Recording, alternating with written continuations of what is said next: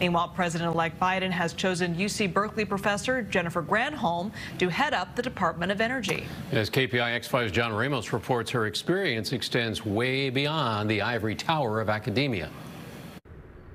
President elect Biden has indicated he wants to chart a new course for sustainable energy in this country.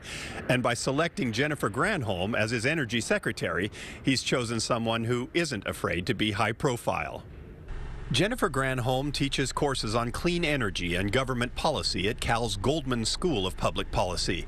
Her resume is impressive, but it all began with a cringeworthy appearance on the dating game in the 1970s.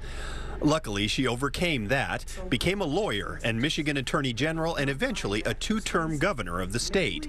She helped renovate the auto industry in Detroit and became a political commentator on CNN and later hosted her own cable news show, The War Room.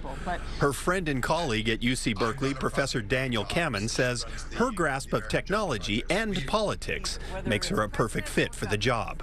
She really understands the complexities of big institutions, and the Department of Energy has 14,000 employees and it's right at the center of the Biden Harris agenda.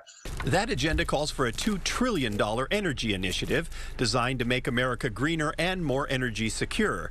Kammen says that will expand solar and wind energy and increase the number of electric vehicles from 1 million to 63 million by the end of the decade. Energy technologies, from my physics perspective, are really cool, but she gets it in terms of the human benefits of investing in communities, of working with Detroit, of making this about jobs. That has been Granholm's approach, tying environmental advances to economic growth and competing with other nations that are already doing it. You know, this is the moment for to the U.S.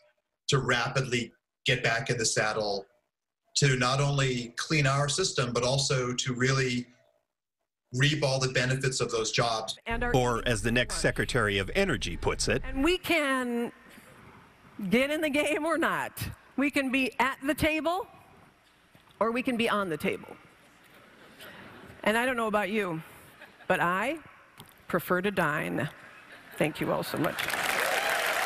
At UC Berkeley, John Ramos, KPIX 5. Governor Granholm first worked with then Vice President Biden to rescue Michigan's auto industry in President Obama's first term.